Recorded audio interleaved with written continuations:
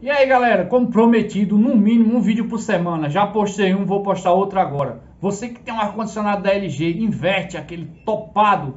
Acontece muito um erro chamado CH23. Pedrinho vai agora, aconteceu comigo, Pedrinho vai ensinar nesse vídeo aqui. Vai ser o vídeo mais rápido ensinando esse defeito. Então se você gostou do vídeo, já aproveita, se inscreve no canal, deixa aquele like, compartilha que você vai ajudar o canal demais. Sem muitas delongas, vamos ver aí como é que se faz uma gambiarra ligeira para consertar um ar-condicionado desse sem gastar muito. Vem galera o vídeo! E aí galera, beleza? Como falei no começo do vídeo aí, esse aqui é um LG Dual Invert aquele que tem 10 anos de garantia do motor e deu uma queda de energia aqui eu vou tentar mostrar para vocês como resolver o problema ele tá dando esse erro aqui ó CH23 esse é um erro que quer dizer o que que ele está com problema na tensão então isso é uma forma de garantir que não estrague o ar condicionado esse erro aí mas como pode ter sido esse erro aqui teve um problema que deu uma queda de energia e eu, não, eu de noite eu não percebi, tentei ligar o ar, estava muito calor. Aí quando eu liguei, ele viu que estava com queda de energia e apresentou esse erro. Aí eu vou mostrar agora a solução para vocês que pode funcionar ou não. Vai depender muito se a sua rede não tiver problema. Se foi só ele reconheceu o erro e ficou com esse aviso, ele só vai sair esse aviso quando você der um reset. E como é que você vai dar um reset? Desligando o disjuntor ou tirando da tomada. Como o meu está ligado direto na rede, eu vou desligar o disjuntor e vou ligar de novo para ver se sai esse erro, beleza? Aqui está os disjuntores provisórios, né, que aqui está em construção, está em reforma. Aí eu tive que deixar assim. Então vamos lá. No meu caso aqui, eu vou desligar o disjuntor principal e vou ver se dá certo. Mas eu já estou percebendo que está com problema na fiação aqui, está aquecido, ó. Eu vou ter que trocar esse disjuntor, beleza? Mas vamos tentar assim mesmo, sem trocar o disjuntor. Vou dar um desligado aqui. Vou dar uma desligada aqui. Vamos esperar um pouquinho.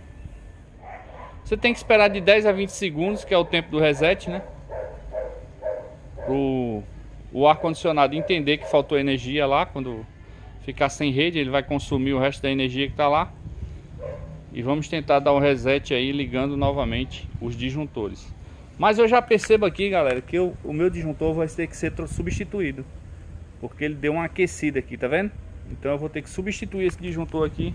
Mas vamos torcer que funcione. Se não funcionar, eu vou substituir e vou tentar novamente fazer o reset aqui.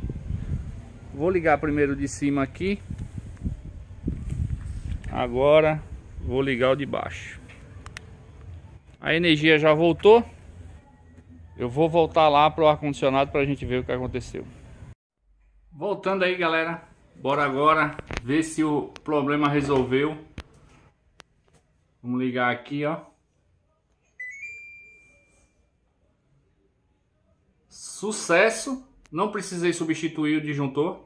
Vou substituir assim mesmo porque está na hora de trocar, né? Quando ele começa a aquecer assim e você não vai gastar nada chamando assistência nem, nem pagando para a sua companhia de, de, energia chegar na sua casa e cobrar uma taxa que tem lá se você o defeito for interno. Aqui onde eu moro é 45 reais, eu não sei, depende de cada estado. Então mais uma dica de pedinho aí, quer resolver seu problema no seu ar condicionado LG?